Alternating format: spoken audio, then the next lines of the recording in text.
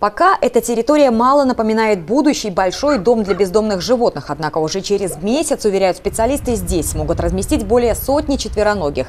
Работа по строительству нового для Новополоцка объекта пункта временного пребывания животных в самом разгаре. Разместить его решено на территории Новополоцкой спецавтобазы. Основная часть работы трудоемкая – это установка столбов ограждения. Практически территория питомника завершена. Мы продолжаем далее обгораживать территорию, принадлежащую нашему предприятию. На этой неделе планируется установка металлопрофиля высотой 2 метра. Установкой ограждения не ограничится. Наряду с изготовлением будок уже приступили к ремонту кровли вспомогательных помещений. Здесь будут хранить корма и все необходимое для содержания питомцев. В условиях ограниченного финансирования к работе по уходу за животными планируют привлекать волонтеров и общественные организации. Здесь ожидается, что животных будут не только кормить, содержать, но и обеспечивать ветеринарный уход.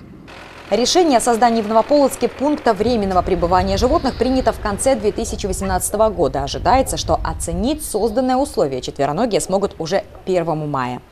Юлия Рубцова, Сергей Пальцев, Вектор ТВ.